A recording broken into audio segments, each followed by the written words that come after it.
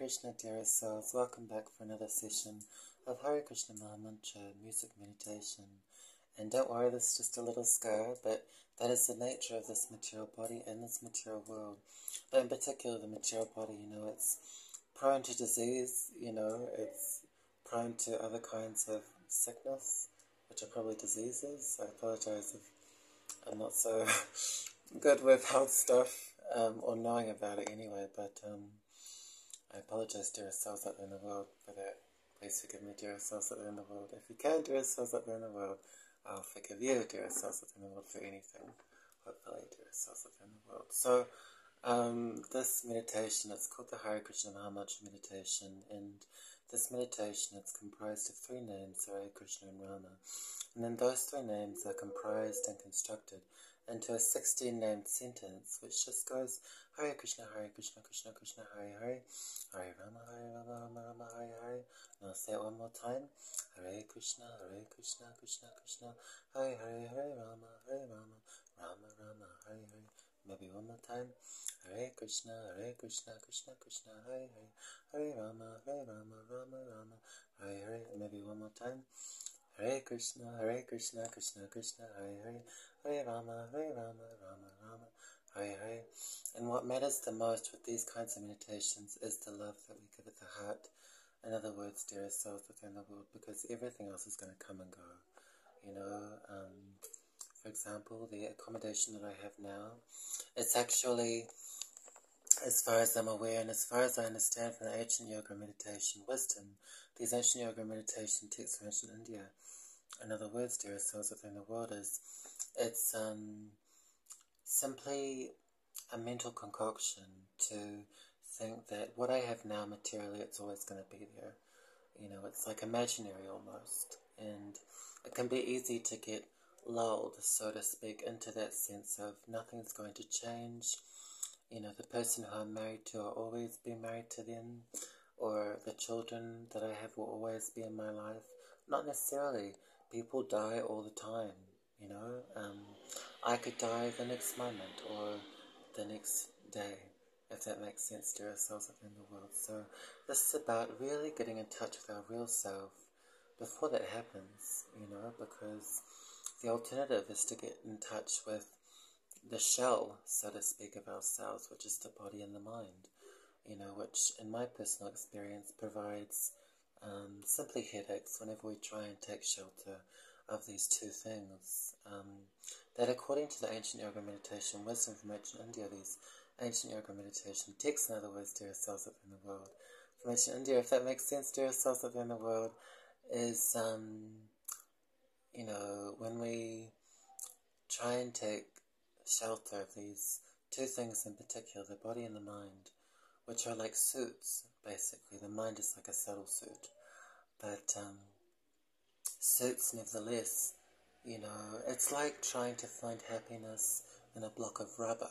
There really is no difference according to this ancient yoga meditation wisdom. Um, you find that after a while, the rubber gets a little bit boring and a little bit dry, and maybe you've tried to find enjoyment from the rubber in every which way. You know, maybe by putting on your head, or you know, eating it, or I don't know, um, kicking it around with your foot. And then after a while, it's like, is there anything else, you know, aside from playing with this rubber? You know, that really is our body and our mind, which is like a subtle body. Excuse, Hare Krishna, I should say, dear ourselves out in the world. Um, it's uh, a uh, suit that you can't see but you can feel. So it's matter. In other words, dear souls within the world that you can't see but you can feel, just like the wind, as far as I'm aware, and also in my personal experience. The wind is something that you can't see with your eyes directly, but you can feel the wind, so you know it's there. Um, so this kind of science that goes uh, deeper into um, truth in a way that, you know, the Western uh, modern material scientists, so to speak, you know, they're doing a pretty good job. They've learnt a lot, but um, according to this ancient wisdom from ancient India, apparently there's a lot more to see and to realize beyond material arrangements, basically. And uh, one might say, well, why can't we just be satisfied with matter and material arrangements, so to speak? Um, the fact is, according to this ancient wisdom from ancient India, we can't be satisfied, which is why we end up, or at least in my personal experience, I ended up feeling so frustrated um, and confused as well because it's a, sorry, I meant to say dear souls within the world, it's like, okay, well, if I'm frustrated um, and this is all there is, then what's the point? What's the point of me even living? You know, why would I continue living? Um, and one might say, well, do it for the children, do it for your job, do it for your very self, for what is yourself? You know, is it that which always changes? The body's always changing, literally. You know, health, sickness, um, you know, and as time goes on, the body is developing, or at least in my personal experience, it develops, and then it, um, uh, what's the right word, dwindles, I guess. You know, it becomes uh, less and less. There's less energy. There's, um, you know, everything becomes frail as far as I'm aware. You know, so how can we be um, truly fulfilled and satisfied by um, that which is not going to always be with us? Um, one might say, you know, we'll just go with the flow. That's the point of life, just to go with the flow. Um, the yoga West information into these yoga and meditation texts from into they explain that um, simply to drift along here and there by the will of the material energy, you know, uh, there's no real result or any result that comes from that. Any lasting and genuine result, because any results you do get, whether it be a certificate in something or, you know, maybe your health does increase, um, you know, you can't take it with you um, when you leave the body. Um, so that's one point that this ancient yoga meditation wisdom from ancient India explains that, you know, we're even not going to always be here or, you know, within this vehicle that is the body. We can see when the body dies, you know, there's something different about the body uh, than when it was so called alive. And this ancient wisdom from ancient India explains that, well, that's due to the soul having been soul. Sorry, I meant to say there are souls out there in the world. That's due to the soul having been present within the body, and then the soul leaving the body, and the soul is you, um, which illuminates the body, which animates the whole body. That's how I'm able to move right now, from what I understand. And um, I'll just pause for one second, dear souls out there in the world. There we go. Thank you for your patience, dear souls within the world. Please forgive me, dear souls within the world, if you can. Dear souls within the world, don't understand. Dear souls within the world. Hare Krishna, dear souls within the world. So, um, this Hare Krishna Mahamantra meditation, it's a way to discover who you really are, you know. And I may have said this before. Um, does that mean that we all just become the same? You know, don't worry, you won't look like me. You probably won't talk like me or act like me. You know, this is not about just becoming one kind of samey army.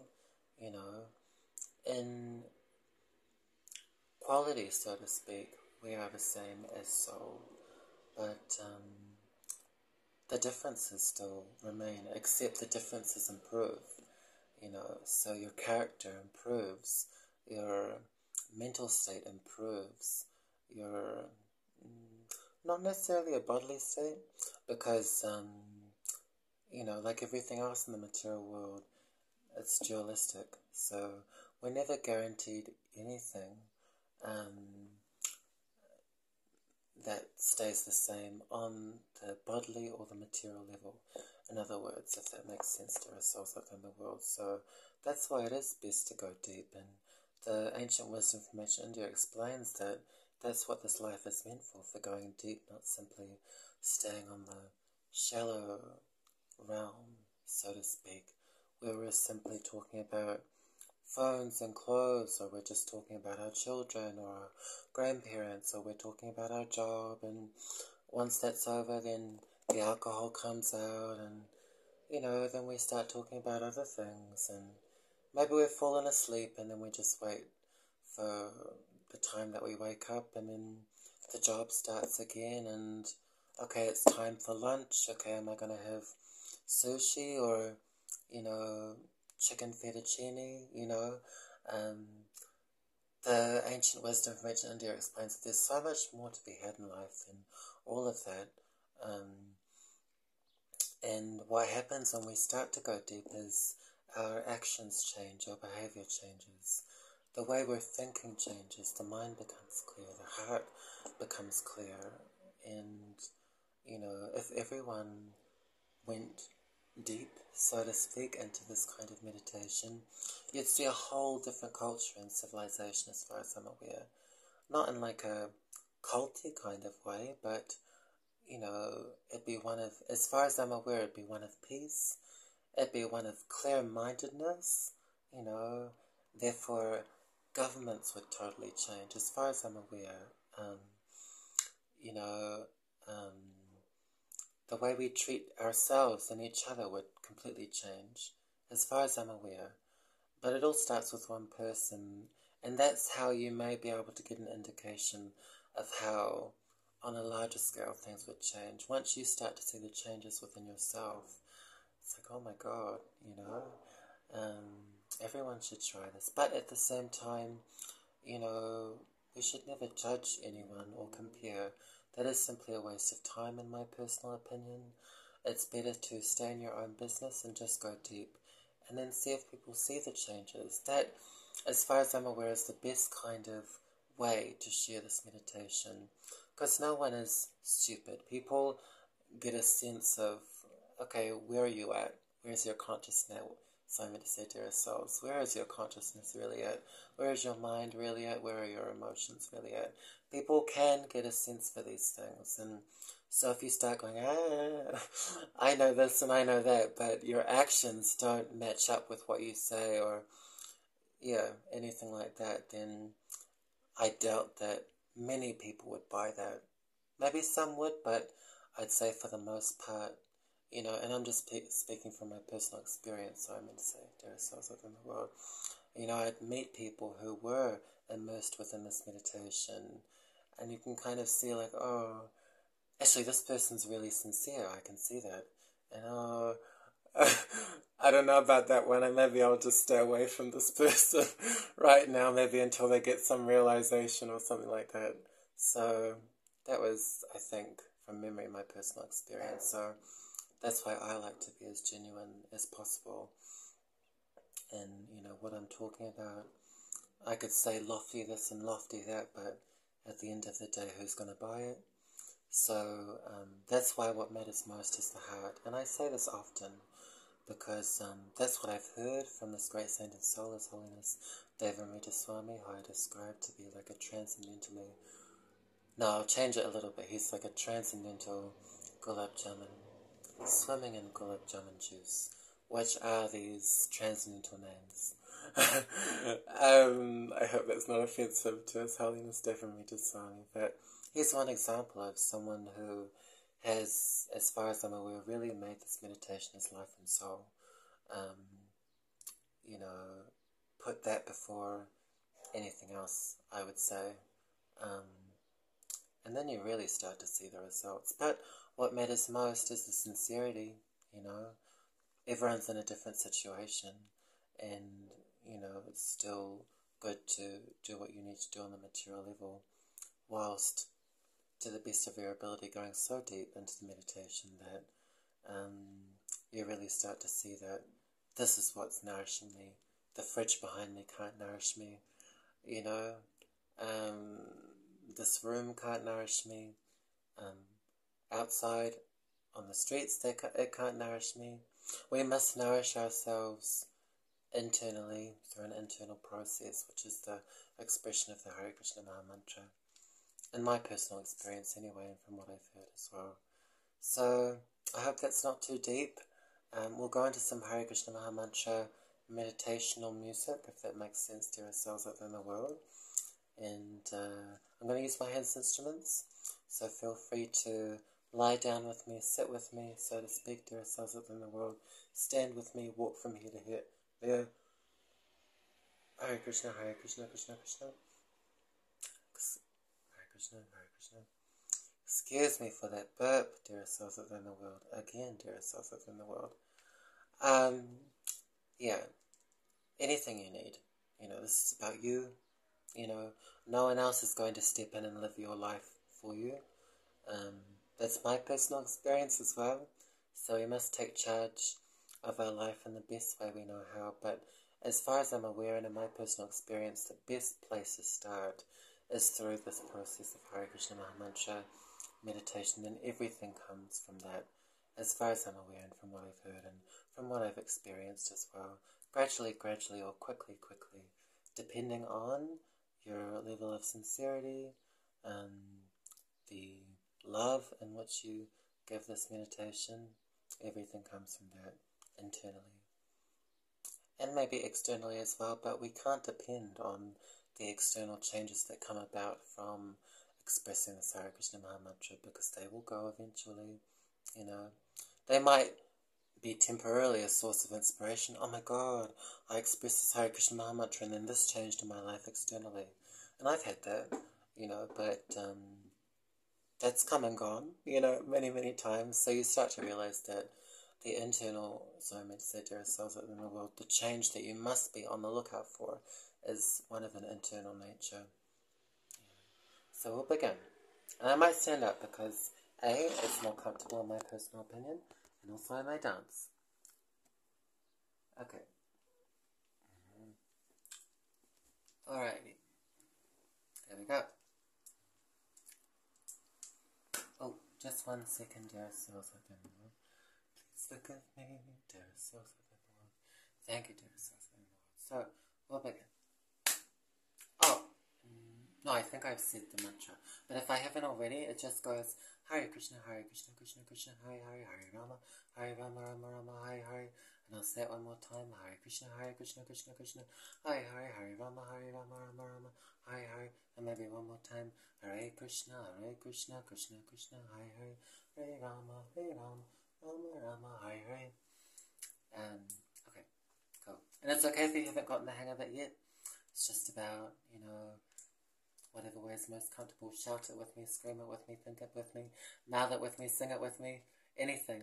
Hear it with me. You don't even need to verbalize this mantra. Um, just go deep to the best of your ability, if that makes sense. Do yourself up in the world. Forgive me if it doesn't do yourself up in the world. If you can, do yourself up in the world. Okay, Hare Krishna, do yourself up in the world. Hare Krishna, Hare Krishna, Krishna Krishna, Hare Hare, Hare Rama, Hare Rama, Rama Rama, Hare Hare, Hare Krishna, Hare Krishna, Krishna Krishna. Hare Hare Hare Rama Hare Rama Rama Rama Hare Hare Hare Krishna Hare Krishna Krishna Krishna Hare Hare Hare Rama Hare Rama Rama Rama Hare Hare Hare Krishna Hare Krishna Krishna Krishna Hare Hare Hare Rama Hare Rama Rama Rama Hare Hare Krishna Hare Krishna Krishna Krishna Hare Hare Hare Rama oh, Rama Rama Hare Krishna Hare Krishna Krishna Krishna Hare Hare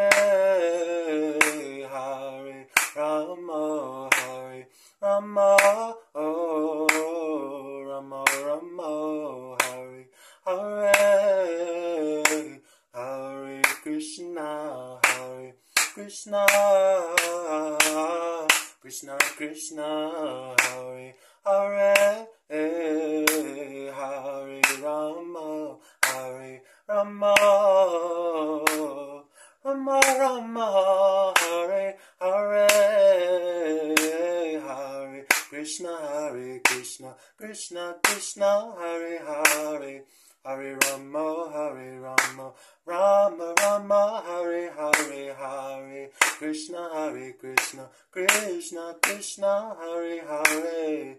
Hare Rama Hare Rama Rama Rama Hare Hare.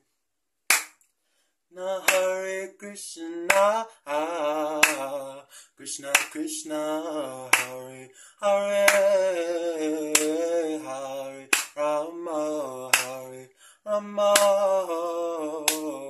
Hare Hare. Krishna Krishna Krishna Krishna Hare Hare. Hare Rama Hare Rama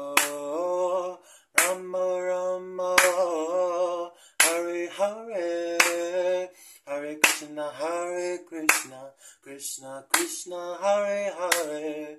Hare Rama Hare Rama Rama Rama Hare Hare Hare Krishna Hare Krishna Krishna Krishna Hare Hare Hare Rama Hare Rama Rama Rama Hare Hare Hare Krishna Hare Krishna Krishna Krishna Hare Hare Hare Rama Hare Rama oh, Rama Rama Hare.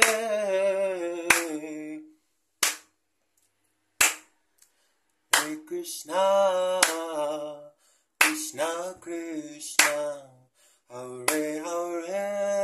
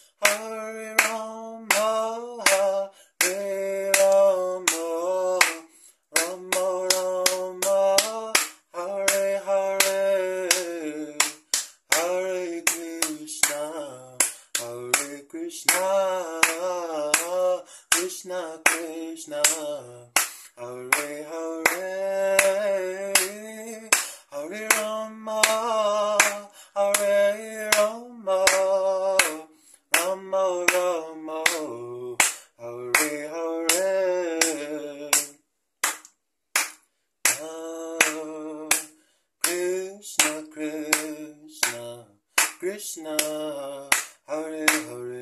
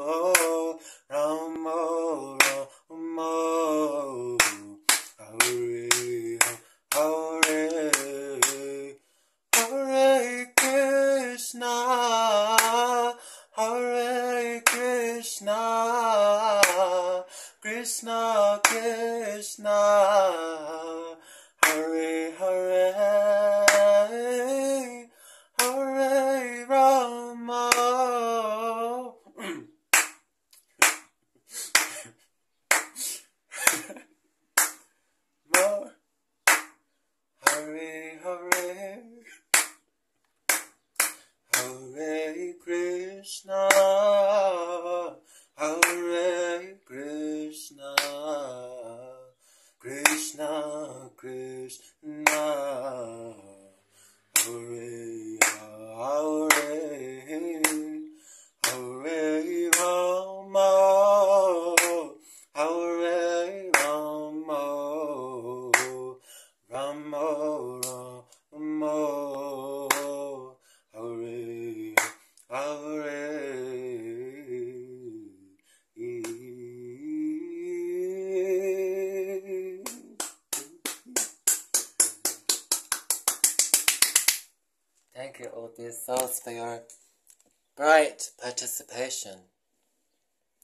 Um, you know, hearing is participating, mouthing is participating, singing is participating, screaming or shouting, you know, thinking, if I haven't already said that already, dear souls out in the world, please forgive me for all of my mistakes, dear souls out in the world.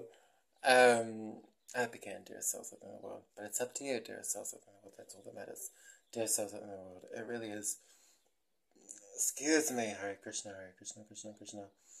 Uh, dear souls out in the world, this really is down to you, and it's up to you, and it's in your hands. In other words, dear souls out in the world, you know, this is just a way, as far as I'm aware, to brighten your insides and to brighten the outside. You know, um, that's all. As far as I'm aware, you know, so many other things they produce darkness from what I've experienced, um, and kind of like a hollowness, hollow, sorry, hollow. Um, in case you guys didn't hear that word, uh, dear souls out in the world. Um,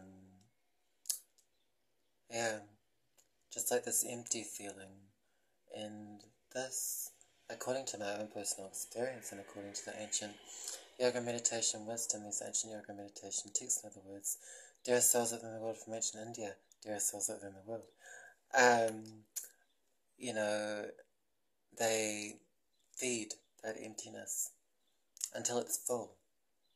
But it's not just full, it overflows, you know, and uh, that's really how it should be.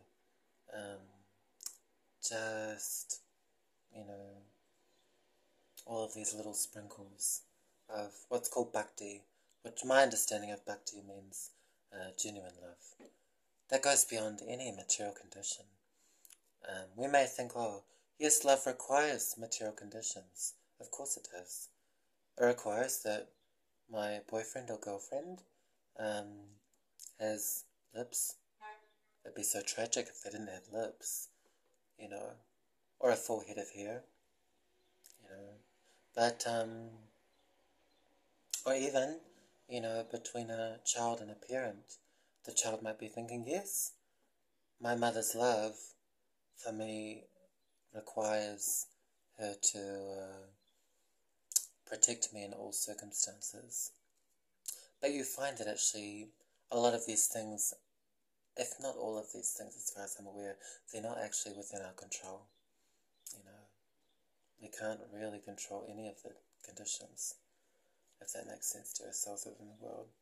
They're always coming and going, and, uh, you know, um, the things that we think we controlled to get what we wanted. We have to think, you know, was that really down to our own personal effort?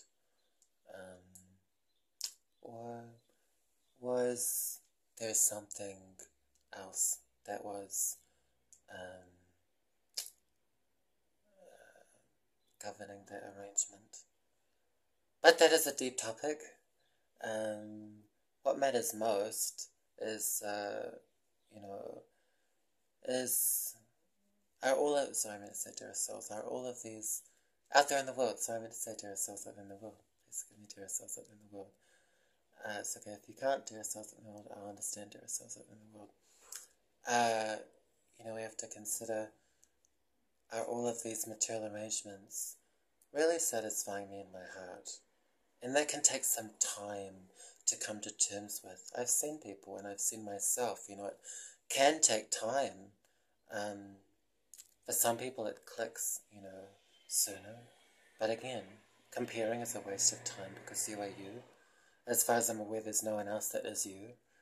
Uh, you know, so um, you're only going to do what you're going to do at your own pace and in your own way, you know, and that may change over time, you know. And so I've seen people like they might give me a look, and I can maybe read. So I'm to ourselves, I can maybe read their look, and and it's maybe like a look of oh, yeah, I've kind of uh, tried some things and they didn't make me happy, but they may not say anything, you know. Um, and it's like okay, that's where they're at, and that's where I used to be at, and so you just let it be you know, because we're almost doing like a brain surgery in the heart and in the head, you know. So, uh, you know, if we kind of override their own surgery that they're doing, so to speak, um, you might end up with a bloody mess, you know. Um, and then, am I going to take responsibility for the bloody mess that I created whimsically and childishly in another person's life? Probably not, because I still have to live my own life. So, you know, you just be very gentle. At least that's my approach anyway, in terms of inviting people to maybe consider that there is something else that can satisfy you beyond the body and bodily kind of things. Um, and in regard to ourselves, we're also at a certain level, you know. There are many people who are at a higher level than me, and many people who are at a lower level than me. And, uh, you know, wherever we're at, on the Ferris wheel, so to speak, whatever chair we're sitting, so I'm to say to ourselves that we're sitting on, so to speak, whatever chair we're sitting on, so to speak to ourselves in the world, um, you know, we simply have to uh, take care of the chair that we have and um, you know just be mindful about our own journey what's happening within our journey and do a lot of reflection and introspection. That's my approach anyway. Or at least that's what I try sometimes. Hopefully. But um yeah. Focus on your own brain